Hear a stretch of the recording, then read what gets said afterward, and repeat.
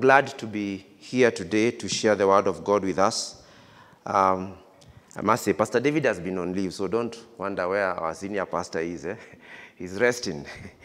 Uh, but he is well. Actually, we were with him yesterday here for the DNA meeting, and uh, it is good as also servants of God to take time and rest and just to be refreshed, uh, even as we continue to labor in the Lord. Praise the Lord. Um, we are still on on our series on the book of Thessalonians. Today we get to go into Second Thessalonians. Um, we were going through First Thessalonians, the first, you know, five chapters of this letter.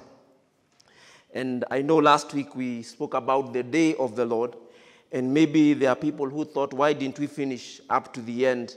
Um, but basically, the last portion of scripture uh, in First Thessalonians chapter 5, I was telling the second service then that it is more of now Paul kind of puts into bullets, you know, things that he wants the church to be uh, and even to seek to follow as you come to the end of First Thessalonians chapter 5, you know, verse 12 to 9, and he just points out a few things, not even explaining much about them. Things like do not, you know, uh, stifle the Holy Spirit, uh, always be joyful, pray without ceasing. Um, you know, that, that you see that no one pays back evil for evil. That is verse number 15. Going up, he says, continue to encourage those who are timid that indeed they may become active. Um, show great respect and wholehearted love because, you know, to the servants of God. And he says in verse number 12 of 1 Thessalonians chapter 5 that honor those who are your leaders in the Lord's work. They work hard among you and give you spiritual guidance. So at the end of the first letter, this is 1 Thessalonians chapter 5, Paul just points out a few things that he'd want the church to continue to do in honoring their leaders, in being of encouragement to one another, in getting to be a people of prayer, to be a people who are joyful, a people who are grateful even in all circumstances. And so that is where, that is where we find basically the ending of First Thessalonians. And so today we go into Second Thessalonians. Um, uh, and, and, and, and coming into this, I said last Sunday that Second Thessalonians, uh, scholars say that this was written like six months later. Six months later, after sending this first letter of First Thessalonians, scholars say that this second letter was not sent actually immediately. They say like it took after around six months. That is when Paul got to send this second letter. And the purpose of this was probably, it is said, he had received, he, he had received a report from the city, you know, detailing some questions that people were asking, some problems that had actually arisen in the church regarding end times. Because Second Thessalonians, the content of it, the majority of the content therein is all about the end times. Is all about the end times. And I just want us to pick out a few things first, even as we go into this book. And these are things that you need to note carefully uh, as we talk about Second Thessalonians. Some are in light of the similarity with First Thessalonians, because one of the things you find in Second Thessalonians is the first thing you see there is the greeting, you know, that Paul again comes back with, as we saw in First Thessalonians, because in Second Thessalonians chapter 1, we see that he says that this is a letter from Paul, Silas, and Timothy. The similar way that he wrote even when he was writing the first letter. And so you can see a similarity in these two greetings, even as he's writing this second letter. We are writing to the church in Thessalonica, to you who belong to God our Father, the Lord Jesus Christ. May God our Father, the Lord Jesus Christ, give you grace and peace. And when you look at this in Second Thessalonians chapter 1, it is far much and almost similar to First Thessalonians chapter 1, verse number 1. So the greeting is similar. But then, why Paul again writes Second Thessalonians, it is important of us to note this from the onset. There are some people who are actually sending false letters to the church. There was like gutter press then. And their message was actually that the day of the Lord has already come. So they who are sending these letters, And they who were subscribing and telling people to subscribe to this teaching, they were telling them, actually, the day of the Lord has come. And so, Paul, in writing Second Thessalonians, he's addressing this matter. He's addressing this matter. And that is why when you read in Second Thessalonians chapter 2, just to give us a bit of overview in there, Second Thessalonians chapter 2, verse 1 to 2, he says, Concerning the coming of our Lord Jesus Christ and our being gathered to him, we ask you, brothers and sisters, not to become easily unsettled or alarmed by the teaching allegedly from us, whether by a prophecy or by word of mouth or by letter, asserting that the day of the Lord has already come. So he's telling them, I know there are people who are sending you letters, they're sending you spam mail. you know, they're sending, sending you messages and saying, actually, the day of the Lord has come. So it is important of us to have that picture even as we go into this study during these uh, coming Sundays regarding Second Thessalonians. And so he's telling them, be careful. I am aware that there are some people who are already even sending you letters, sending you this kind of teaching, and telling you that the day of the Lord has come. It is important of us to have this even as we get into this book. But then the third thing that Paul uses, and he says that you need to know that there is a way I write my letters. Paul had a distinguished way of doing his letters. And, and this really encouraged me to understand why sometimes he says at the end of his letters that this is why I write with my own handwriting. Are we together? And I was asking myself if, you know, sometimes we joke here in the office and say some of us, our handwritings, we should have been doctors. Praise the Lord. Just because of how we write.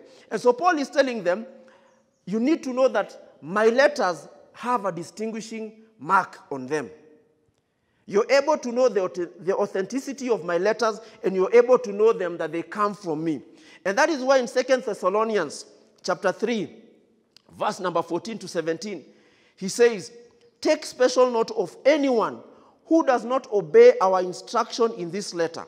Do not associate with them in order that they may feel ashamed. Yet, do not regard them as an enemy, but warn them as you would a fellow believer. And then in verse number 17, he says that I, Paul, write this greeting in my own hand, which is the distinguishing mark in all my letters, that this is how I write. And so he's telling them, brethren, I know there are guys who have been telling you things, they have been sending you letters. But for you to verify that the letters have come from me, he says that I, Paul, write this greeting in my own hand, which is the distinguishing mark in all my letters. That this is how I write. And actually, when you look at most of his letters, even when you read in 1 Corinthians chapter 16, verse number 21, you'd see there it says that I, Paul, write this greeting in my own hand. Galatians chapter 6, verse number 11, he says, See what large letters I use as I write to you with my own hand.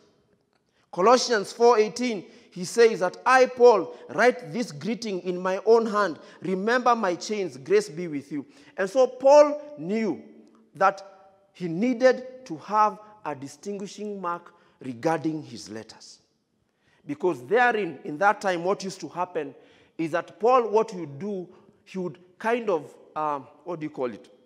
Dictate the writings of his letters so, as Paul would do, he'd call somebody like his secretary, and this person would be tasked to write what Paul was, was dictating. And so that is why when you look at most of his letters, you see at the beginning there is a greeting, but when you come to the end, there's normally that topic, Paul's final greetings.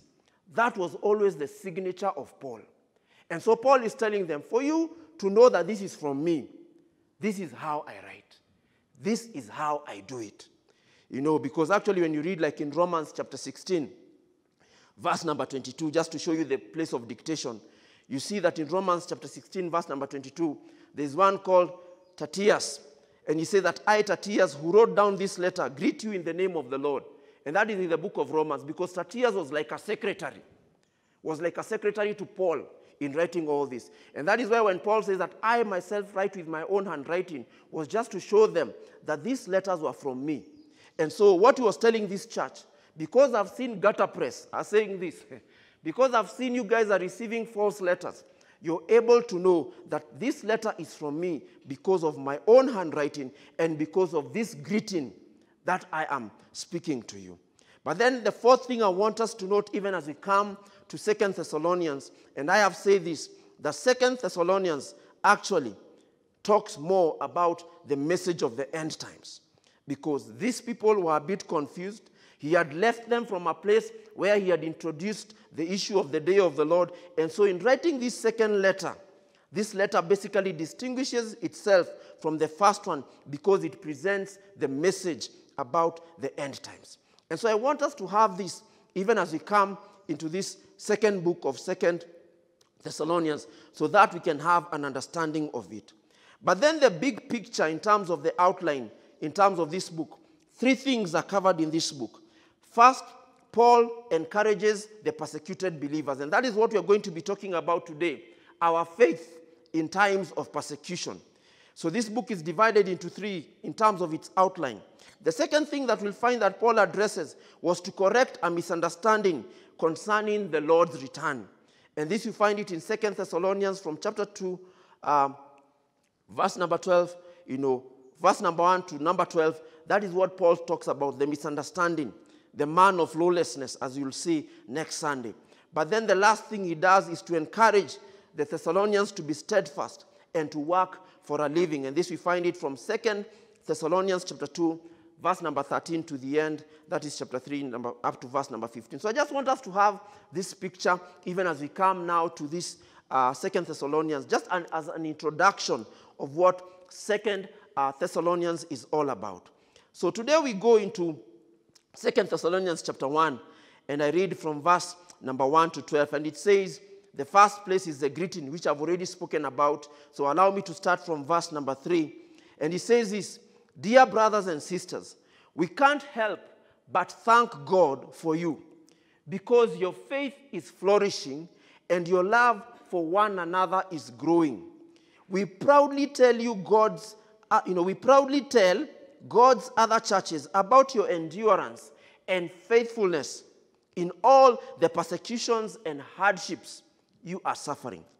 And God will use this persecution to show his justice and to make you worthy of his kingdom for which you are suffering. In his justice, he will pay back those who persecute you. And God, verse number seven, will provide rest for you who are being persecuted, and also for us when the Lord Jesus appears from heaven. He will come with his mighty angels in flaming fire, bringing judgment on those who do not know God and on those who refuse to obey the good news of our Lord Jesus. They will be punished with eternal destruction, forever separated from the Lord and from his glorious power. Verse number 10 that when he comes on that day, he will receive glory from his holy people, praise from all who believe. And this includes you, for what for you believed what we told you about him. So we keep on praying for you, asking our God to enable you to live a life worthy of his call. May he give you the power to accomplish all the good things your faith prompts you to do. Then the name of our Lord Jesus will be honored because of the way you live, and you will be honored along with him. This is all made possible because of the grace of our God and Lord Jesus Christ. Praise the Lord. And so, in this first part of Second Thessalonians, this first chapter 1, Paul takes time to encourage them, to share on matters of persecution. And today, as our sermon, as our sermon title would be, How is our faith? Or how should our faith be in times of persecution? Maybe to you who's listening to me, you may be saying faith in times of suffering, faith in times of oppression. And Paul takes time just to talk about this issue of persecution, but more to it to encourage the church. To encourage the church. Because we need to ask ourselves so, what kind of persecution were these people experiencing? We are told, and maybe it may not be so much written there, but in most places, just by their confession, just by being belie- believers, some of them, their property was seized. Some of them, as workers, they were stopped from practicing even their trades. Because of this, some were even shunned by their families. Some were insulted. Some were beaten. Some were even put to death. You know, if you've ever read about persecution, you hear about one leader who was called Nero. We are told that at night he would actually burn up people to be like the lights. You know, there you have street lights. He would light up people and burn them, and those would be their street lights then. That was the form of persecution that these people were experiencing. I was looking even at statistics, and actually it is said that Kenya ranks number 49 in light of persecution in the world, persecution for the gospel. And that is where Kenya lies. And so Paul is writing to this church, knowing that this is what they are going through. And you know, their persecution, you may ask, who was persecuting them? First Thessalonians, which we studied a few weeks ago, chapter 2, says this in verse number 14. 1 Thessalonians chapter 2, verse number 14. For you, brothers and sisters, became imitators of God's churches in Judea, which are in Christ Jesus. You suffered from your own people. The same things those churches suffered from the Jews. And so Paul was basically understanding that the persecution that these people were going through, other versions would say that you suffered persecution from your fellow countrymen. So it was not external, it was just around them. It was their friends, it was the people, their fellow countrymen, the people around them were the ones who were persecuting them. And when you read in the book of Acts, you see various forms of persecution that get to happen to the leaders, to the church, to the apostles. And persecution was present then. And so we need to ask ourselves how shall our faith be in times of persecution? Second Corinthians chapter 4 would say, verse number 8, that we are, we are hard pressed on every side, but not crushed, perplexed, but not in despair, persecuted, but not abandoned, struck down, but not destroyed. And this is where this church was at. This is where this church was, this is what this church was experiencing. John 16, verse number 33 would say that in this world you will face many troubles. Matthew 10, 22 would say that you will be hated by everyone because of me. Matthew 24, verse 9 would say, You will be handed over to be persecuted and put to death, and you will be hated by all nations because of me. Praise the Lord. And that is where this church of Thessaloniki found itself. This is where they were. They were facing persecution. They were facing persecution.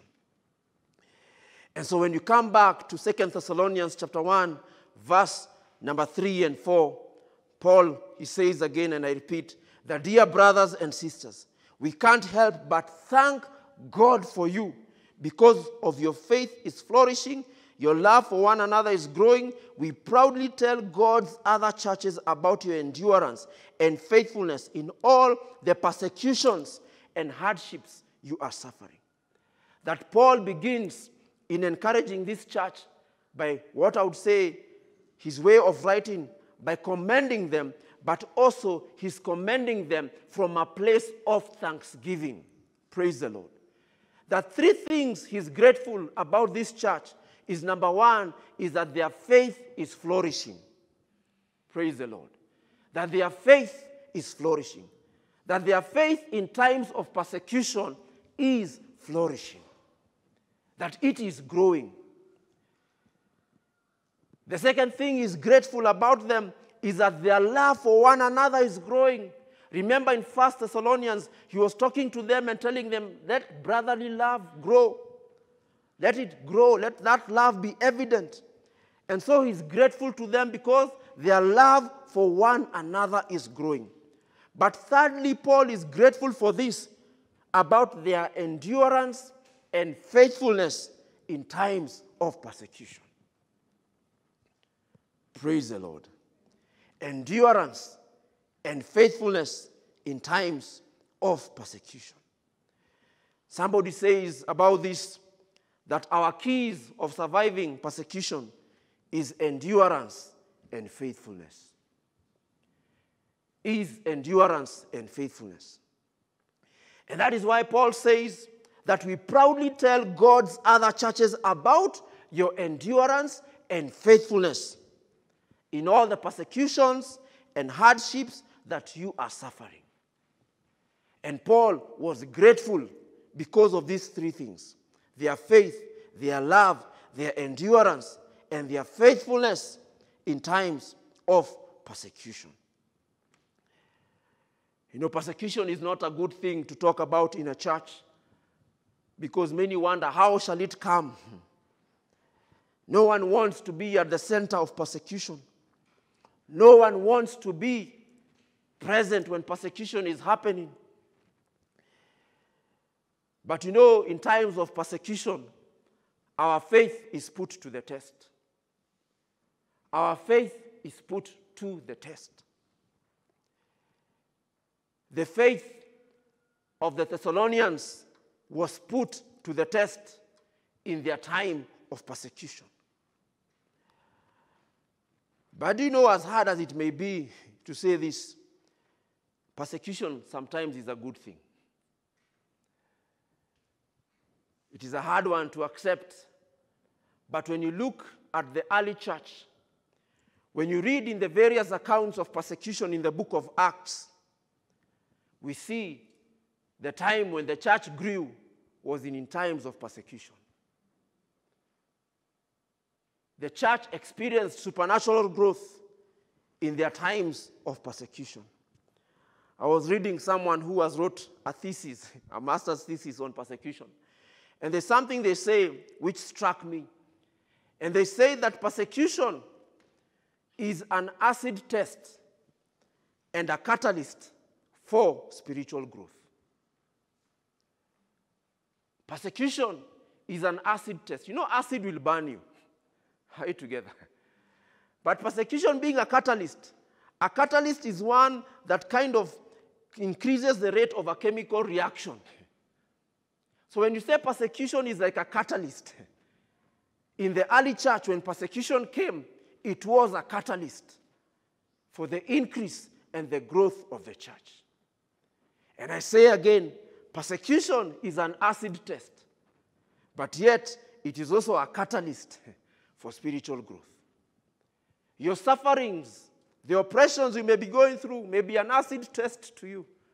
But many times, the way you handle that, it becomes a catalyst for you for spiritual growth. Have you ever found that you, you get to grow when you're going through suffering? Praise the Lord. You get to remember God more when you're going through oppression. That oppression becomes a catalyst for you for your spiritual growth. For your spiritual growth.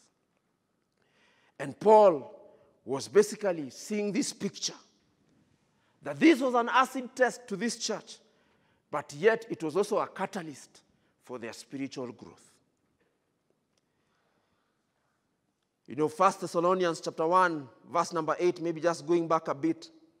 It says, For the word of the Lord has sounded forth from you, not only in Macedonia and Achaia, but in every place the news of your faith toward God has gone out. The news of your faith has gone out. That this church was known. This church was known about their faith in times of persecution. I don't know for K3C, what are we known for? What are we known for? As we continue on in talking about faith in times of persecution, Paul has talked about their faith, has talked about their love, their endurance, and their faithfulness. And this persecution becoming an acid test to them, becoming a catalyst for their growth. But then, when you continue in verse number four, again, just in the sense of it, you find that our testimony in times of persecution matters. Praise the Lord. Our testimony in times of suffering, our testimony in times of when our bosses are oppressing us, our testimonies when people want us to compromise and use shortcuts matters. Our testimony is put to the test. That are we able to still have faith in those times of trial? Are we still able to endure, as you see in the same verse number four? Are we still able to be faithful that we may not shame the name of the Lord? Our testimony in times of persecution matters. Listening to a sermon, somebody was saying that one day people were in a church and some people walked in and they say that those who believe in God remain, and those who do not believe in God, you're free to go. And these people thought that these people had actually come to kill them. But that is the day the pastor knew the people who were faking their faith. Because when they remained, they who had come as enemies told the pastor, Now let us praise the Lord. Let us now sing to the Lord. We have known those who believe in the Lord. Praise the Lord. Because the people knew now today is our day, let me deny Jesus. But our testimony in times of persecution matters. And this was a testimony that Paul had, and he was saying to them, We proudly tell the other churches. Are people able to tell your colleagues, to tell your friends, that your testimony still stands even in a time of oppression, in a time of persecution. Our testimony matters in times of persecution, brethren. But then, when you go to verse number 5 and 6, Paul tells them this. And there are four things that Paul talks about regarding persecution. And he says this in verse number 5, reading from the New Living Translation. And he says, And God will use this persecution. God will use this persecution, number one, to show his justice. Praise the Lord. Because God's justice is all about God's judgment. That God will judge they who persecute you. Praise the Lord. That even in the place you find yourself today in the office, in the place you find yourself in your family, God is telling you that through this, number one, His justice, His judgment shall be evident. His fighting for you shall be evident. And He says that He will use this, number one, to show His justice. And so, as I tell you about this, I say today maybe that is the place you find yourself. People have risen against you. But yet, I pray that this word may encourage you even for you today because maybe you've stood for your faith. You've stood for your faith. That God is telling you that even in this, number one, I will show my justice. I will judge they who oppress you. I will handle them for you. And so, for you is to be at peace, to be still, to know that He's telling you even today. And this church was being told that God's judgment will come and that the Lord Himself will show His justice. God will use this persecution, number one, to show His justice. But number two, He says this to make you worthy of His kingdom. Whatever shall make us worthy of his kingdom beyond salvation, brethren, sometimes persecution will come in to make us worthy. Praise the Lord. To make us worthy of his kingdom. There's no greater example I can use more than the example of Stephen. Stephen, when you read in Acts chapter 7, verse number 54 to 60, we are told that the Jewish leaders were so angry with Stephen and they shook their fist at him in rage in verse number 54.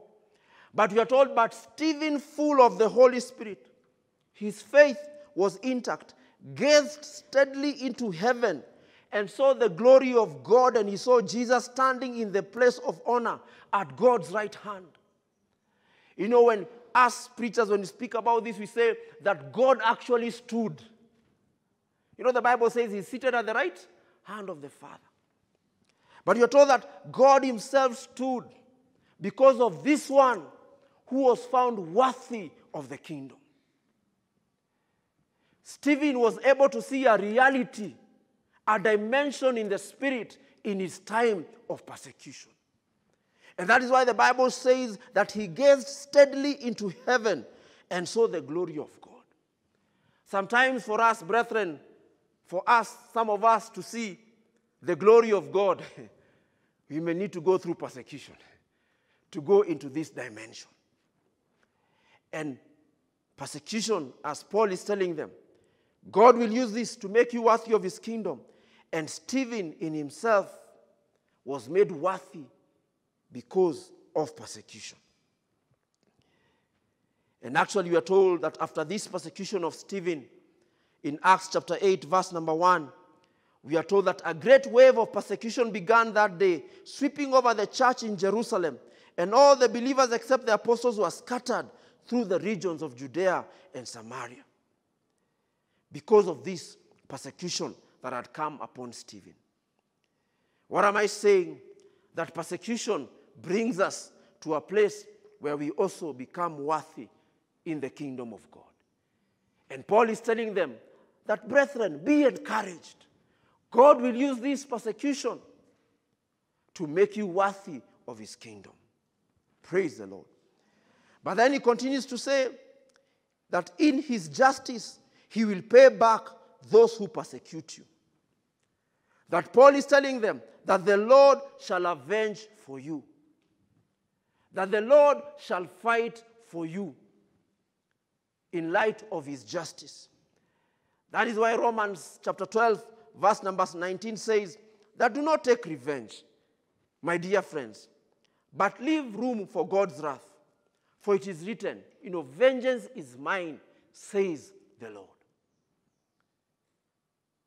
And sometimes, friends, even in our times of oppression, wherever we work, we need to allow God to fight for us.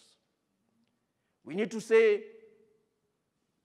and claim this scripture, sorry, and understand it that God says that God will use this persecution to show you that vengeance is His, that He alone can fight for you. But then in verse number seven, again, Paul says that God will use this persecution to do what? To give you rest. Praise the Lord. Second Thessalonians chapter 1, verse number 7, he says, And God will provide rest for you who are being persecuted. Praise the Lord. God will provide rest. God will provide rest. There are things God will do in our lives. There is a rest that God will give us in our times of persecution. And this is the faith that Paul is talking about in writing to this church faith in times of persecution. That God says that He will use this persecution to provide rest for you. Are there battles you've been facing? Are there battles you've been going through? Understand this that even in such a time as this, the Lord says He's able to provide rest for you. Praise the Lord. He's able to provide rest for you. My time is far much gone, but I like just to end here and say this that our faith in times of persecution, we said, is our acid test,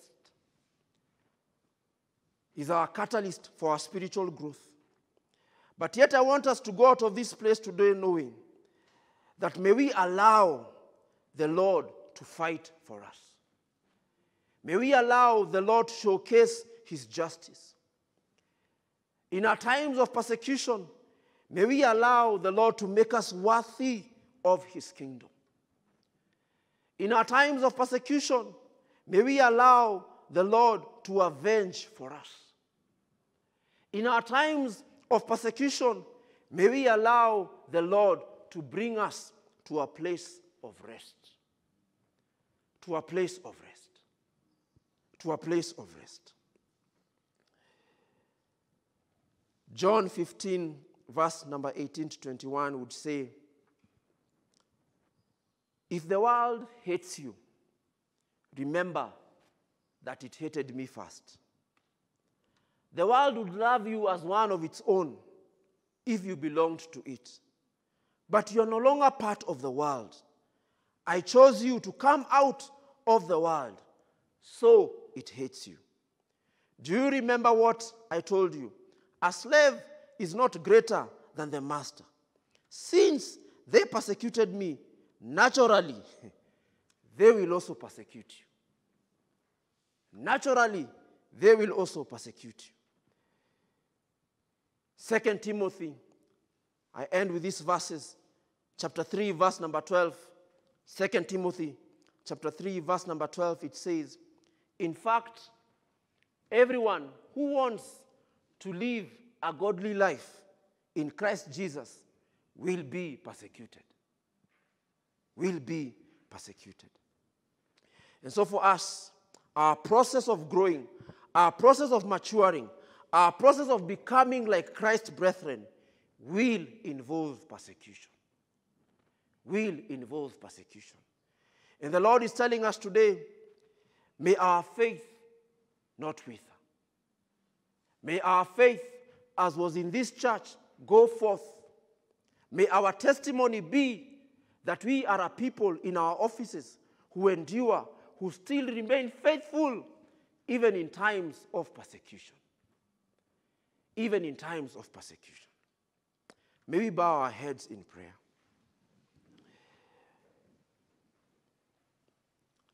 Father, we thank you, Lord, even for your word today. Sometimes to have that faith in a time of affliction, Lord, is a difficult thing, O Abba Father. But today, Lord, we come in the very same encouragement that Paul wrote to the church of Thessalonica. The Lord, your word says that, and Paul wrote to them and told them that God will use this persecution to show his justice, to make them worthy of the kingdom, to avenge for them, and to bring them to a place of rest. Father, I pray today. The Church of Christ, even in this nation, in some regions of this nation, has gone through persecution. Lord, we seek to still hold on in the testimony that we firmly believe in our God and our Savior. At this moment, even as we come to the end of this sermon today, I just want to pray with you. Have you been going through what for you you'd call your persecution, your oppression, your suffering? I feel like I just need to pray with you. Just wherever you are, just stand up.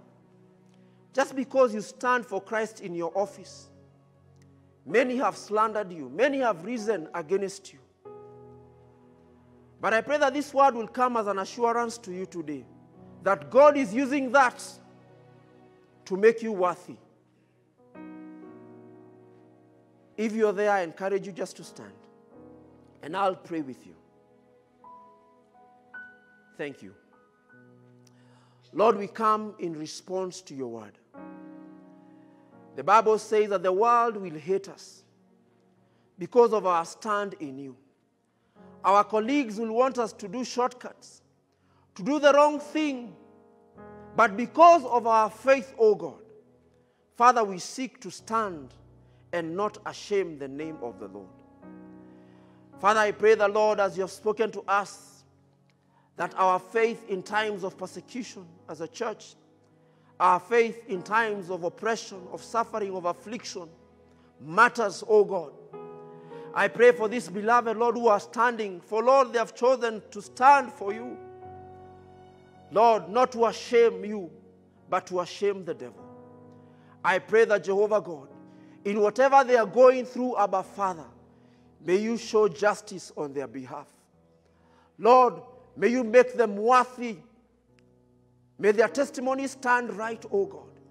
May you avenge for them, O Abba Father, and even bring them to a place of rest where they are anxious, where they are troubled, where they're in pain, Oh God.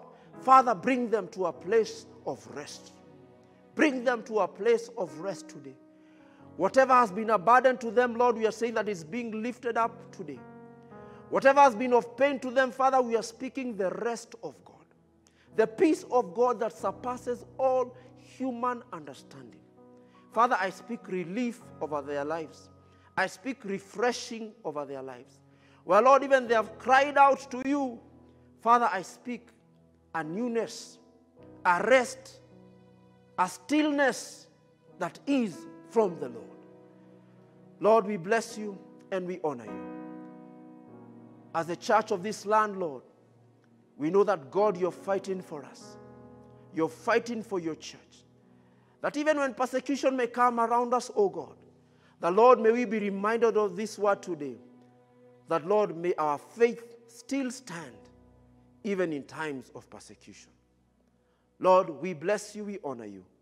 In Jesus' name we pray. Amen and amen. The Lord bless you.